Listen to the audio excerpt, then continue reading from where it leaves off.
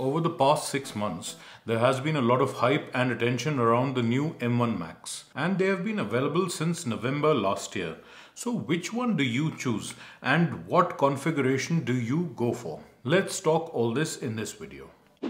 First of all, which one out of the three? Well, the choice between the Mini and the MacBook Air and Pro should be simpler than choosing between the two laptops. If you want more mobile computing, you need a laptop. If you're primarily going to be working at a desk with a big external monitor, as many of us probably are with the change times, you may not think it, but you should give a serious look to the Mini. As I will tell you later on in this video, the MacBooks are not ideally suited to desktop style computing, mainly for two reasons, but more on this later. Additionally, you will get a lot more for your money in terms of RAM and storage if you choose the Mini. It also offers an additional HDMI port built in, meaning even with the current limitation on M1 Macs, you can natively run two external displays on the Mini. Now the Mini and the MacBook Pro offer active cooling, or in simple words, a built-in fan and for extended workloads, meaning either using intensive programs or doing a lot of multitasking all day and all night continuously, you may see the added performance benefit from the fan. Here I say may because for the most part the MacBook Air runs very cool and I've only seen it get warm on the bottom when connected to a 4K display and running intensive programs. That means that unlike with previous generation Macs with Intel processors, the impact of having a fan is much lesser on the performance for 90% of situations. So that brings us to the Pro and the Air. Here, there is no right or wrong choice, and rest assured, you will be fine with either. The differences in real world usage are very little. You may be surprised to know this. So, we know that the fan makes only a small incremental difference in performance, and I can tell you from comparing the MacBook Air to my iPad Pro 12.9 that even with a lower overall brightness, the screen is quite readable even outside in the sun and the other differences such as slightly better speakers, slightly bigger trackpad again will be of interest to those who have a specific need with regards to these. The point I'm trying to make here is that you will be well served by using your money to upgrade the internals of the machine you choose to buy. So now let's talk about RAM and storage. If I could get just one upgrade in terms of configuration and nothing else, it would be the RAM. Irrespective of whether you decide to get the Mini, the Pro or the Air, this is one upgrade that you will see a benefit from more and more as time goes by. Not only will you use a lot less of the swap file, an issue we have discussed in depth in another video, links on your screen and in the description below, but you will see that Safari and Chrome will kill your background web pages a lot less than with the 8GB version. This is something quite new in terms of Macs, even though you see this on iPhones and iPads. And nowadays everyone uses a lot of tabs on Chrome and Safari. In terms of storage, yes, it takes a second place to RAM and mainly because you can store files in the cloud and also it's easy to get fast removable storage. I would say that 256 GB is the bare minimum nowadays and 512 GB definitely gives you more room to copy and download large files till you can move them to a different drive. If you use intensive programs that use a lot of cache, then again you will benefit from the added storage. Look at it this way, if you can afford it, get the 512GB version and upgrade the RAM to 16GB. Otherwise, do upgrade the RAM, even if it means sticking with the 256GB version. In fact, if Apple had offered the 16GB RAM MacBook Air with 256GB storage as a standard configuration, I would have picked it over the 8GB 256GB version in a heartbeat. This, by the way, is the 8GB 512GB version. Now let's talk about the different kinds of usage with these machines and who can get away with choosing which variant. Now over the past few months, a lot of interest has been generated in these powerful Macs and people have been asking about the M1 Mac suitability for various things like everyday tasks such as office programs, web browsing, Zoom calls, FaceTime, to more intensive stuff like AutoCAD and video and photo editing suites. In my experience, the 8GB RAM Air, the base computer, can run all of this stuff without much drama.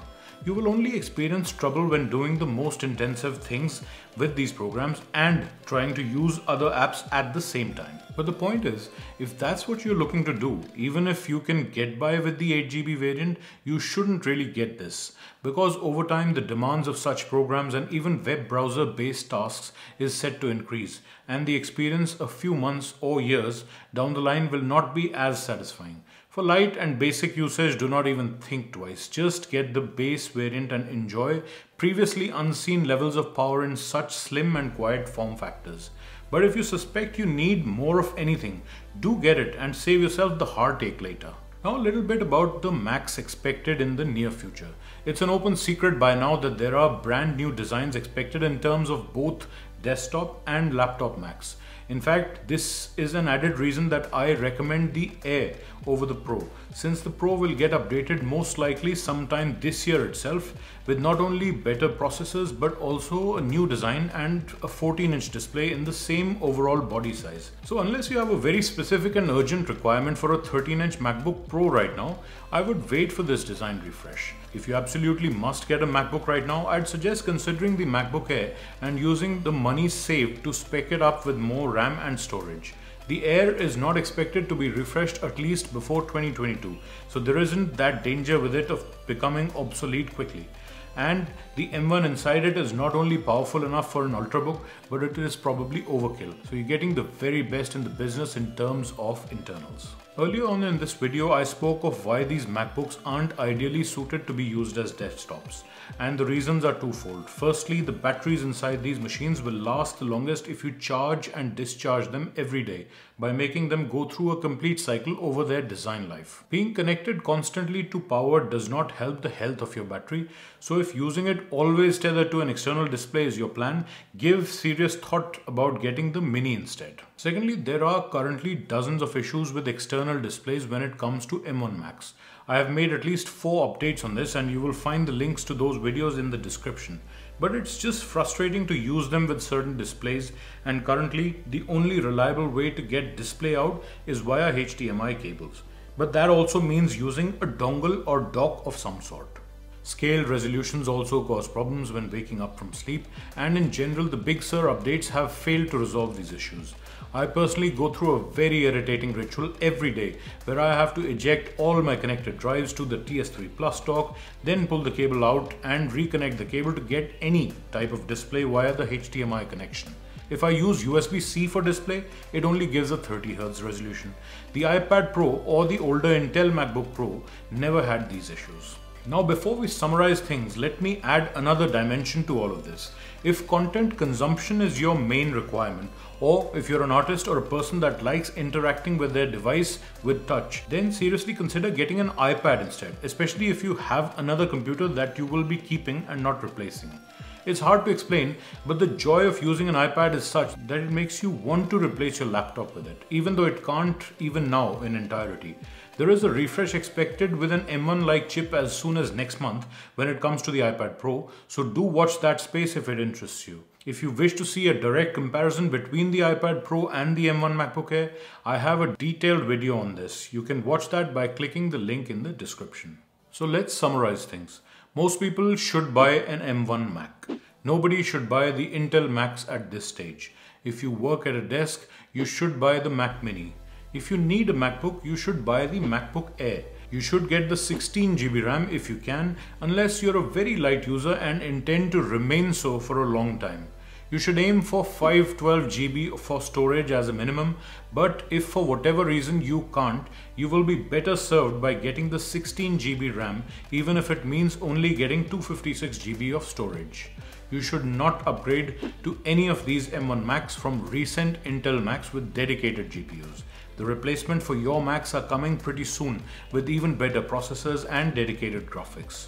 You should not buy the MacBook Pro 13 inch at this stage as there is a new model expected soon with a complete redesign, better processors and perhaps even more ports. And finally, if you're mainly a content consumer or perhaps an artist and have another computer, you should get an iPad instead. I've got a complete playlist on M1 Macs that you should look at next. But as a bare minimum, do check out these two videos at least. Watch the RAM question in action and learn about the swap file issue. See you in the next one.